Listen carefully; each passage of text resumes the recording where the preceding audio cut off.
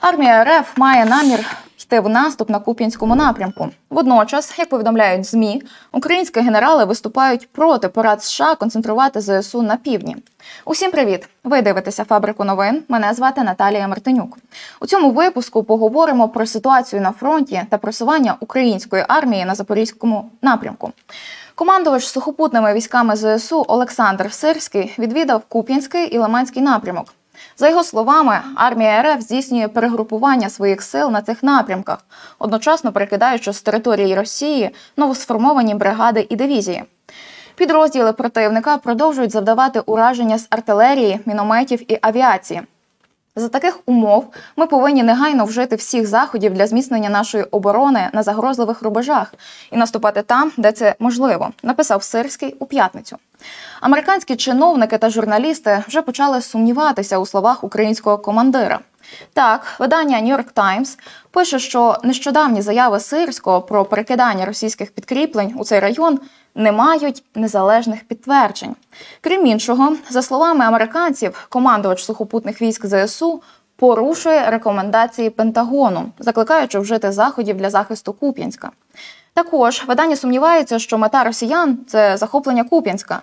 На думку журналістів, повернення міста під окупацією РФ поставить їх у становище, в якому вони перебували до відступу з Херсону, коли місто доводилося утримувати з річкою за спиною і з обмеженням шляхами постачання. Замість цього російські війська могли б спробу... могли б спробувати просунутися до річки Оскіл, яка тече з півночі на південь, а потім використати водний шлях як природний бар'єр проти подальших атак України. Йдеться власне у статті.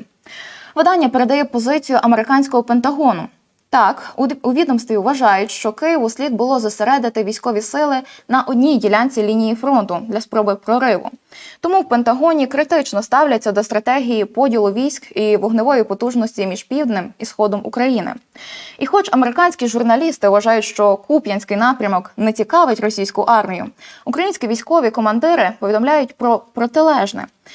І вже не тільки Сирський. Так, начальник прес-служби східного групування військ Ілля Євлаш в ефірі телемарафону розказав, що російські окупаційні війська тримають приблизно 100 тисяч військових на Лиманському та Куп'янському напрямку. Також вони підвищили кількість атак.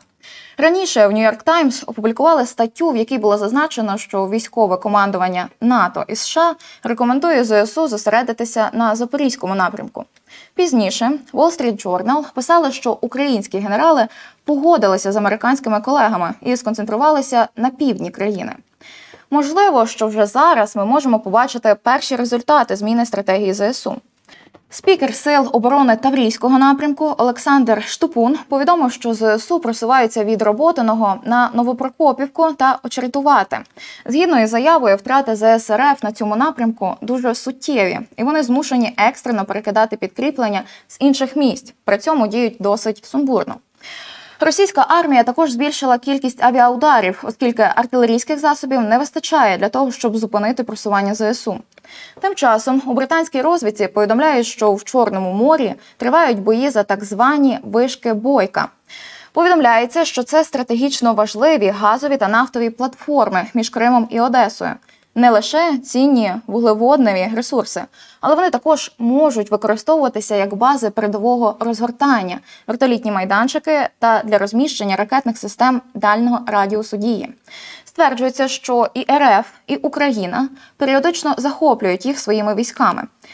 Друзі, а як ставитеся ви до порад американських військових для українських командирів? Пишіть свою думку у коментарях.